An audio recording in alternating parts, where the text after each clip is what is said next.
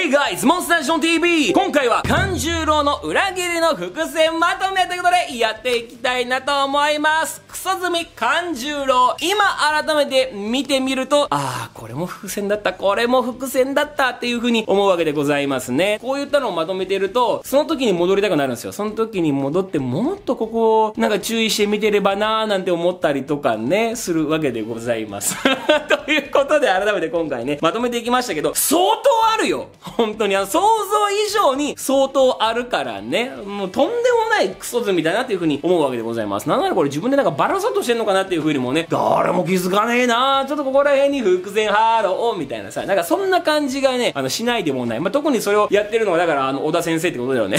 みんな気づくかな伏線貼ろうってことだよね。ということでね改めてやっていきたいなと思います。えー、まず一つ目ということでカン十郎の名前ですね。スパイを意味する間者っていうね、えー、言葉があります。間者ということで、間者勘十郎っていうね、そこが連想できるなということで、もう名前にすでに、まあ、その裏切りの伏線があったのではないのかっていうのがまず一つと。二つ目、勘十郎の異名。この異名っていうのが夕立ですね。で、本名は黒住勘十郎ということでね。で、この夕立っていうのはまあ、天気雨っていう意味ですね。で、狐の嫁入りっていう風にも言って、この狐の嫁入りっていうのはね、僕大嫌いなんですよ。前に、あの、お母さんの車をね、めっちゃ綺麗にして、多分ね、あの、動画、あの、探せば、多分上がってると思うんだけど、その掃除をして一緒に動画撮って、みたいな。その後、家に帰ったら速攻でそれ食らってさ、めちゃくちゃ車汚くなって、俺、ほん当にうざくなってさ、なんか真っ黄色になるんだよね。何がきつねだよ、バカ野郎っていうさ。本当にムカついたね。で、えー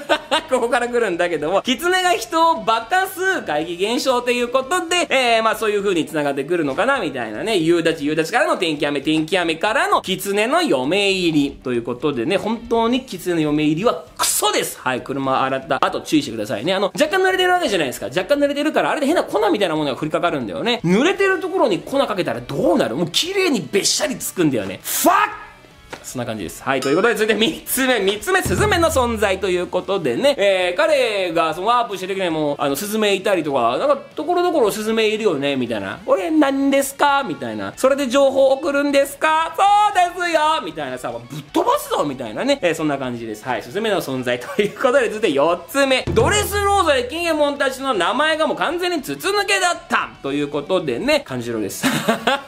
勘十郎ですもん、そりゃそうだよね、と。はい、そして続いて5つ目。5つ目はジャックがゾウに来れた理由ですね。そして雷蔵を名指しにしていた件。雷蔵がそこにいますよっていうね、えー、名指ししていた件。なぜ？ということでね、えー、まあ、ビブルカードっていうのを渡されますよと、ね、漢字を渡されまして、で、それをオロチサイドに流した。情報とともに、現在こんな感じですよ、みたいな、おーイエーみたいな感じで向かっていくっていうね、もう本当にクソ済みでございます。まあ、こういう風に今5個言っただけで、あ、もう裏切りだっていう風になるじゃん。だから最初からそれ気づいていればというかさ、裏切りがね、あの濃厚になっていたので結構後の方だからさ、だからなんか、まあ知ってれば、あ裏切りだな、みたいな。な、なんかね、だから後になると、あ、こんなにあったんだ、みたいな。簡単だねってなるんだけど、その場ではわからない。だからこれがうまいんですよ。先生すごいよね。後になってこんな簡単なの？みたいな。その場では絶対わかんないからね、すごいですよ。はい、ということで6つ目。6つ目はドレスローザでみんなあの、星をかけられてね、えー、星1個とともに1億とかでしたっけ？えー、まあ、賞金がもらえるよ、ということで、まあ、あの、ドフィー君がそういったゲームを始めましたよと、勘十郎含まれておりません。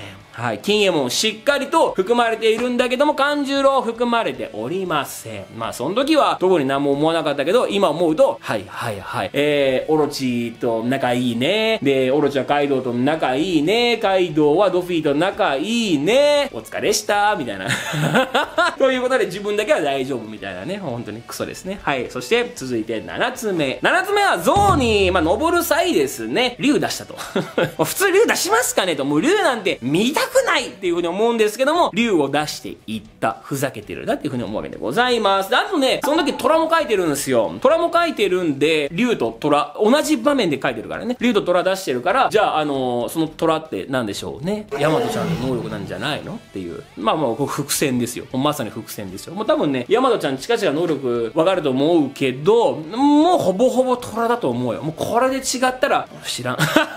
ということでね。まあ、あとなんかね、少し気になるのが、その書いた竜っていうのはピンクだったんですよ。ピンクだったから、ピンクの竜っていうところでよくあの扉に出てるさ、ピンクの竜、でかいピンクの竜。意外と勘十郎が書いたやつみたいな。まあ、まあ、とはいえ、もうなんか、死んだってなってまた復活してさ、で、また切られて、で、また生きてましたっつうと、なんやねんってなるじゃん。だからさすがにそれはなんかないと思うし、まあそれが意外と、だからピンクの竜出したら味方として、みたいなさ、もうういいよってなるじゃん。だけど、あの、忘れちゃいけないのが、あの、裏切り者のクソ野郎が最後に涙を見せた。そして裏切り者のクソ野郎が安家さんの遺体をどっかに持っていた。どこに？そこなのよ。どっかに持って行ってるから何かあるのよ。まあ悪者だったらもう完全にそれをさらになんかひどいことしてるじゃん。ん刺したりとかもうえぐいことするわけじゃん。もう死んでるのにね。でもわざわざそれを残してやるってことはいいもの伏線あるんじゃない？涙もあるし。っていうことで安家さん関連でまだ何か起きるのかなとか、ちゃんんとね、あの綺麗にお墓立ててる可能性もあるし、わかんないけど、まああれには意味があると思うよ。勘十郎が持っていった意味。そして彼の利き手ということで、えー、絵のうまさですね。えー、右手が書くの得意ですよという話なんだけども、左手で基本的に書いているというね、えー、まあ、利き手は右手ということで、まあ、ここでその絵のうまさっていうものが、まあ、違いとして出てきた。ね、これもまた裏切りの伏線と。そして続いて、まあ、絵を描くわけなんだけども、黒い墨を使って描く。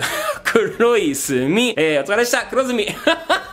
ということで、はい、続いて、えー、コミックスの人物紹介ということで、これ顔がね、92巻、93巻、94巻で変わっているということで、まあ、変わるということは？みたいなね、えー、味方から敵に変わる。はい、お疲れしたということで 続いていきましょう。続いてこれ11個目ね、次11個目。え、迫害を受けた過去。ね、え、迫害を受けたっていう風に情報が出ている。なんでっていうね。まあそこは僕もその当時ね、結構引っかかっていたんですけども、なんでっていうの、それは黒ずみだから、はい、お疲れしたっていうね、もうそういうことですね。で、続いて、襲ってきたのに、襲ってきたのに、ギブギブギブギブどういうこと？って話じゃん。だから普通に考えて襲ってきたのであれば、修羅道士の剣じゃないけども、もう完全にやり合って、乗されて、で、ついてくるってわかるんだけども、襲って速攻でギブギブギブっていうのは、まあちょっとどうなのかなみたいなさ。で、おでんさんなんて普通に考えて知ってるじゃん。街の人はもちろんおでんさんのことは知ってるし、さらに、やつその時期から当然おでんさんのこと知ってるわけでしょ？狙っているわけだから。だから、知って狙ったのよ。普通に。野良じゃないんですよ。彼は野良でなんか髪の毛を取ってるって話じゃなくて、それを理由に、あからさまでおでんさんを狙っていった。で、殺されないためにも、速攻でギブギブギブギブっていう風に言っていく。だから、要するに、まあ、そういう状況を作っただけだよね。はい、最初から仕込まれていたっていうね、普通に考えたらギブアップはしません。はい、するということはお疲れした。っていうことですね。そして続いて13個目、歌舞伎役者の化粧を施した顔ということで、顔をこういう風にね、メイクしてるわけで、もう一つの顔があるっていう、素顔があるっていう風に考えると、メイク、素顔、良い人物、悪い人物。はい、お疲れしたということで続いて14個目結構あるよね。えー、打ち入りのその5000人の兵力図が出た時に、えー、勘十郎の顔がないというね、まあ、正確には体はらしきものはあるんだけども、顔がないということで、それも裏切りの伏線。仲間じゃない。顔がないということは仲間じゃない。っていう風に取ることもできる。それでもしも他に顔がない奴らがちらほらいたんだったら、ごめんねごめんねって感じです。でもそれが勘十郎っていうのが意味があるからね。はい。ということで、続いて、ミスリードということで、元々の設定で、濡れガラスっていうね、異名が、まあ彼にはあったんですね。で、濡れガラスっていうのは、まあ女性の髪色をね、表すもので、で、しかしながら赤座や9人男ということで、なんでその女性の髪色を表すものが、えー、まあそこに使われているのかということで、もしかしたらもともとはあの女性の設定としてね、えー、勘十郎がいたのだとすれば、それは言うのであれば、9人男、男じゃない、言うのであれば仲間外れ的なね、そいつだけ違うよ、何が違うの？味方じゃないっていうような、えー、考え方もできる。で、そんな中、お菊がいるんだよね。ってなってくると、で、このことが判明する前に、そういった設定情報って出てるから、その設定情報からの、あ、ってことはこれ勘十郎にそういう風に付きようと思っていたんだけども、お菊にしたっていう風になってくるのだから、お菊が怪しく見えてくる。俺最後だから、お菊と勘十郎で、まさに迷っていたんですよ。最後の最後まで。まあ、それなのよ。ミスリード。しっかりと引っかかっていく。これがモンスタージション TV。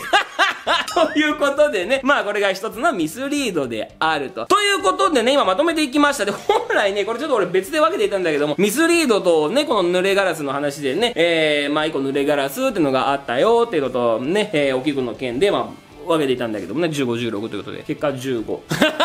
まとめちゃったんで15。はい、裏切るの伏線15選ということでね、まとめていきました。いかがでしょうかまあ、結構あるよね。とんでもない野郎だよね。だけどもまだ残っているものが、安家さんの遺体どうしたのっていうところと、描いた虎。この虎何なのっていうところと、さらには描いたピンクの竜。カラー絵で、えー、描かれていた巨大なピンクの竜。そこら辺繋がってくるのかな？どうなのかな？まあ言うても、桃之助くんピンクの竜だしね、ということで、そこは一つ薄く気になるところとして、やはり気になるのはこの2点かな。まあ言うて彼絵うまいじゃないですか。絵うまいわけだし、巨大なピンクの竜とか描いても面白いなと思うんだけどもね。まあさすがにもう死んでるとは思うんで、無理なのかなと思うけどもね。はい、ということでいかがでしたでしょうか？他にもこれ裏切りの伏線じゃねえってのがあったらコメント欄に書いてください。ということで今回この辺で終了していきましょう。最後になります。グッドボタン、チャンネル登録ボタンよろしくお願いします。OK ですか？じゃんけんタイムいきましょう。最初はグー。インガザーラシートでパーでした。また次回お会いしましょう。See you next time!